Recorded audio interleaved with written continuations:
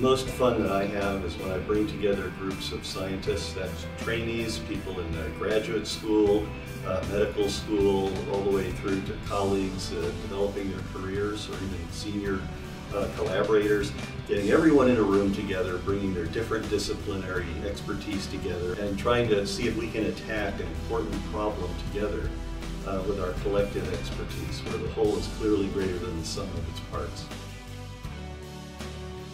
A neuropsychologist uh, by training, and my my entry into this work was basically uh, testing patients uh, many years ago who would be unable to remember shopping lists and story passages or solve other uh, relatively simple problems. And I always wondered why that's happening.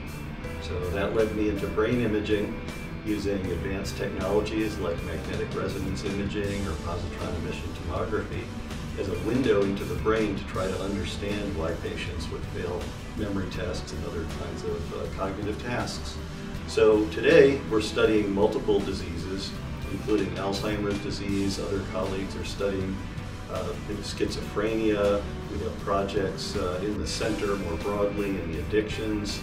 Uh, others looking at the cognitive effects of cancer, chemotherapy, uh, and much more. Everything from uh, children through to uh, older adults. And uh, we're using this information to try to understand more about what brain functions and circuits are disrupted and thinking constantly about how this information might translate into personalized medicine, designing personalized diagnostics and treatment plans for patients.